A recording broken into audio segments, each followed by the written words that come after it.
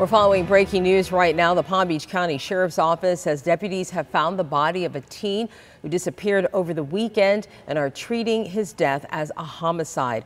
Detectives say 17-year-old Emmanuel Castaneda's body was found along 120th Avenue and 75th Lane North. This is in Loxahatchee. It found them around 2.30 this afternoon. According to the sheriff's office, the teen's mother reported him missing on December 17th after she says she hadn't heard from him when he was supposed to return home that night.